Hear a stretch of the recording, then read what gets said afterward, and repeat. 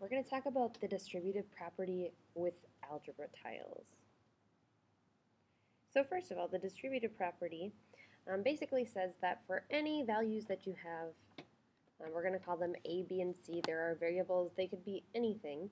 Um, when you multiply A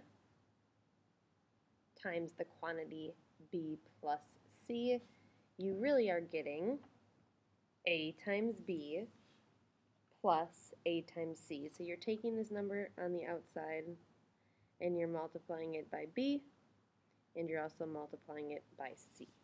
So we're going to do some examples of that and see what that looks like. So the thing is we want to figure out how we can use algebra tiles to show this.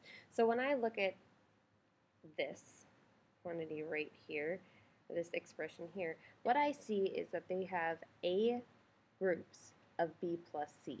So let's do an example so that we can make sense of that not using just variables.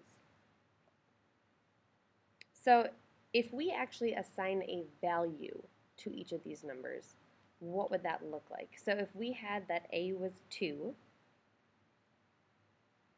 and then B is 3x, and C is 5.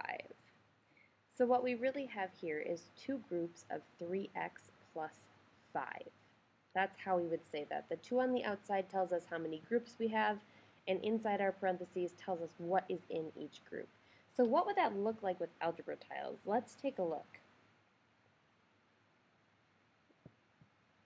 There we go. So I'm going to get my algebra tiles, and if I have 3x, 3x tiles, and 5 ones.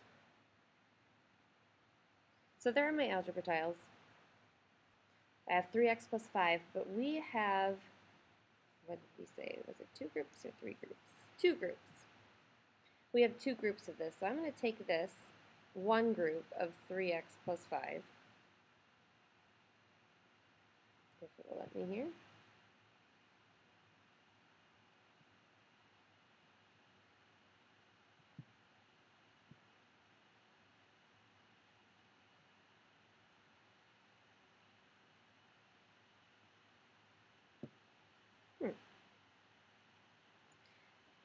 I'll just take this again. I'm going to take that group and I'm going to make another one exactly like it.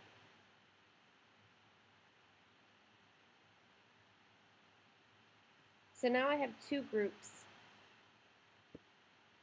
of 3x plus 5, but really, what I really have is 1, 2, 3, 4, 5, 6 x's, and 1, 2, 3, 4, 5, 6, 7, 8, 9, 10 ones.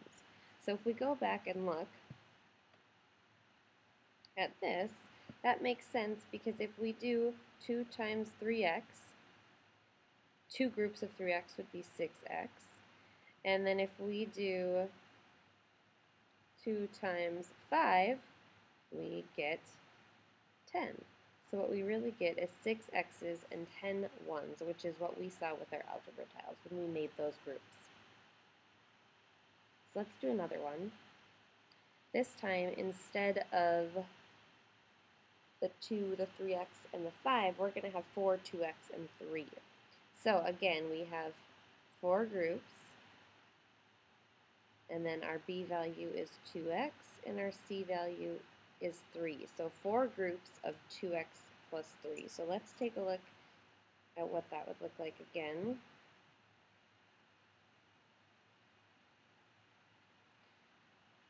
So we have 2x and 3. There we go. So if I take that and I do this four times,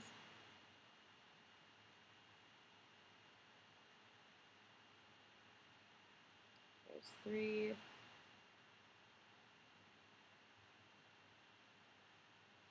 there is our 4. So now we have 1, 2, 3, 4, 5, 6, 7, 8 x tiles and 1, 2, 3, 4, 5, 6, 7, 8, 9, 10, 11, 12 1 tiles. So let's check to see if we get that same thing four groups of two, so four times two is eight, and eight x tiles, and that's what we saw before. And then four groups of three, which would be 12, and we did have 12 one tiles. So we see 8x plus 12. We're just rewriting it in a different way, an equivalent way, and more simplified.